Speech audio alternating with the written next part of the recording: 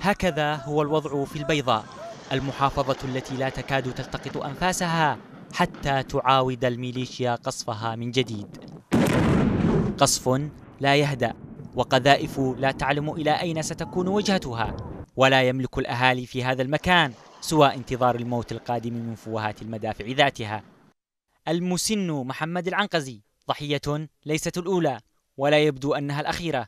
تم قنصه أثناء ذهابه إلى منزله بمديرية القريشية.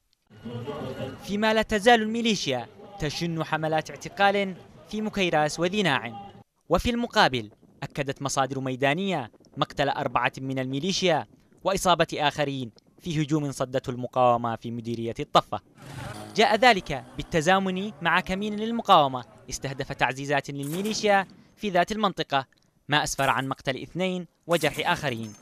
إذا لا يزال أبناء البيضاء يدافعون عن ما تبقى لهم من الأرض التي لم تترك فيها ميليشيا الحوثي والمخلوع منزلا إلا وأدخلت فيه الحزن. جعث هنا جعث.